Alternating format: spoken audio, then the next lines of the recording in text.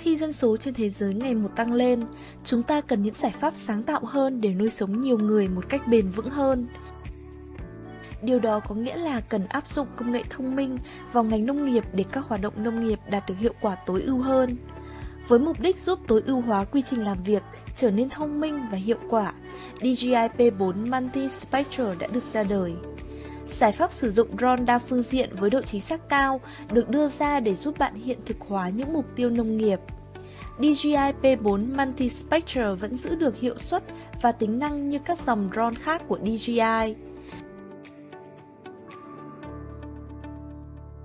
Hệ thống hình ảnh đa mắt kính cho phép bạn có thể nắm được nhiều thông tin hơn. Bạn có thể theo dõi sức khỏe cây trồng trong suốt mùa sinh trưởng bằng cách tạo ra bản đồ chỉ số thực vật, sử dụng hình ảnh đa phương để có được kết quả nhất quán và chính xác nhất. Nhờ vào cảm biến ánh sáng mặt trời quang phổ tích hợp mà có thể tính toán được các mức độ ánh sáng mặt trời khác nhau tại các thời điểm khác nhau trong ngày. Sự chính xác đạt tới từng cm với module RTK và hệ thống đồng bộ thời gian DGI cho phép bạn nhận dữ liệu định vị chính xác trên cả hình ảnh RGB và hình ảnh đa khung đã được chụp lại.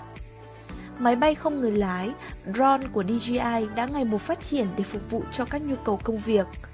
P4 Multispectral là một công cụ dễ tiếp cận mà bạn có thể dựa vào để thu thập các thông tin về cây trồng một cách dễ dàng, thông minh, nhanh chóng để có thể sử dụng cho mục đích nông nghiệp và hơn thế nữa.